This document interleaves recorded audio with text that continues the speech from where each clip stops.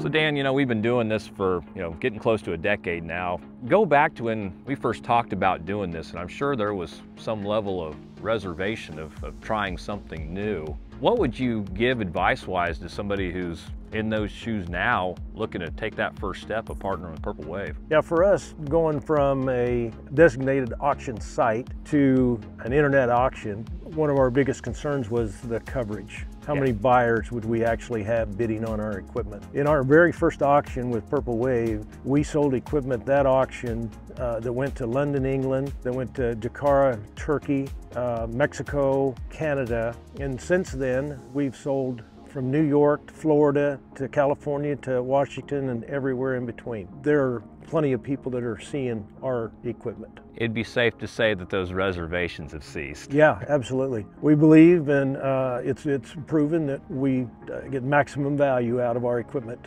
selling through uh, Purple Wave. Dan, speak to the efficiencies that you feel that Purple Wave brings to the table in the equipment remarketing?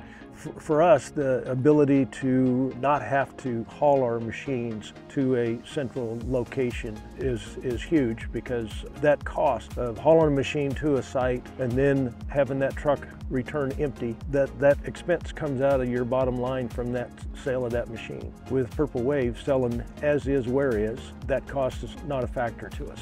It is very efficient. Yeah, efficiency is the name of the game. Dan, right. blessed to partner with you and the entire DUIT team. Thank you. Thank you.